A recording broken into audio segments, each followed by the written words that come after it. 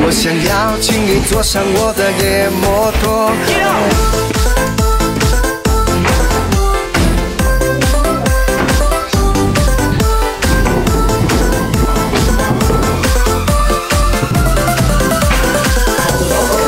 哦，亲爱的你，在走在哪里？遗憾错过的快乐有没有被重新拾起？是不是抱着泡面声声叹气？在每一个约定的最后一个星期，我们不过是同道的小弟，与朋友各奔东西后才感到生活不易。这些年不好不坏没有激情，奔波在城市里陪着我的是那年儿童我的。